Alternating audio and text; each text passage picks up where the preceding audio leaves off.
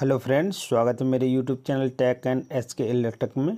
तो आज की इस वीडियो में हम बात करेंगे कि अगर आपके फ़ोन में भी जो फ़ोन का ये ऑप्शन होता है, जो फ़ोन का बटन होता है, अगर इसको प्रेस करते हैं तो आपका जो कॉन्टैक्ट लिस्ट होती है, वो नहीं डिस्प्ले में शो करती है। ये सेट एज डिफ़ॉल्ट लिखा रहता है। इसको अगर क्लिक करते हैं हम तो कुछ भी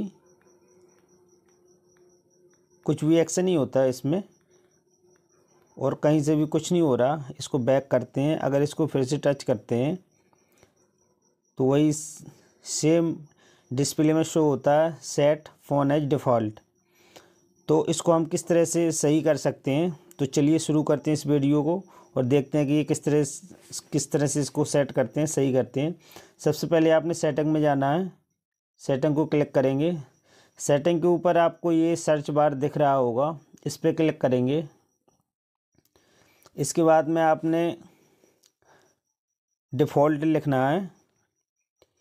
डी ई एफ़ ये डिफ़ॉल्ट ऐप का ये सब, दूसरे नंबर पे ये ऑप्शन आ गया है, इस पर क्लिक करना है आपने।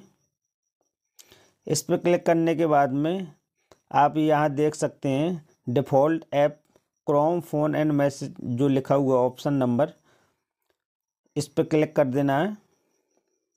जब इस पर क्लिक करेंगे तो आप सबसे नीचे देखेंगे सेकंड लास्ट में फ़ोन ऐप का ऑप्शन है एक, इस पर क्लिक करेंगे।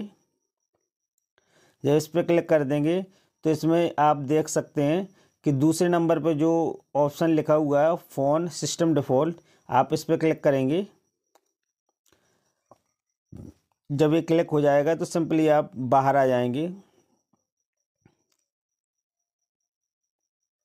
और अब आप इस फ़ोन वाले ऑप्शन को क्लिक करेंगे तो आप ये देख सकते हैं कि हमारे नंबर शो होने लगे सारे नंबर शो हो रहे हैं। तो आप इस तरह से इस सेटिंग को सेट कर सकते हैं।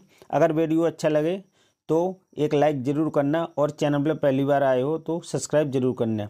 वीडियो को देखने के लिए बहुत बहुत धन्यवाद।